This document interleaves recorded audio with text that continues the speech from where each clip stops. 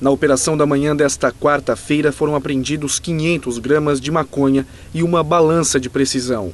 Além disso, dois televisores, roupas, calçados, celulares, relógios e perfumes foram recuperados. Os objetos foram levados em um furto na casa de uma empresária no bairro Mar Grosso no começo desse mês. A ação conjunta entre as polícias militar e civil resultou na prisão de dois homens, uma mulher e na apreensão de um jovem de 15 anos, já conhecido no meio policial.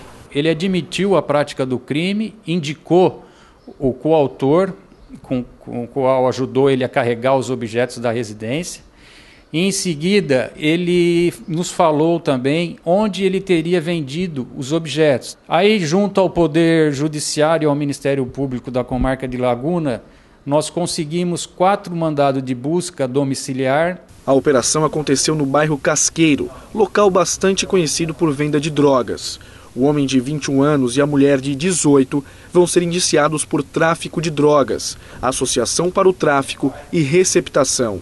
O jovem de 15 anos também vai responder pelos mesmos crimes, mais o de furto.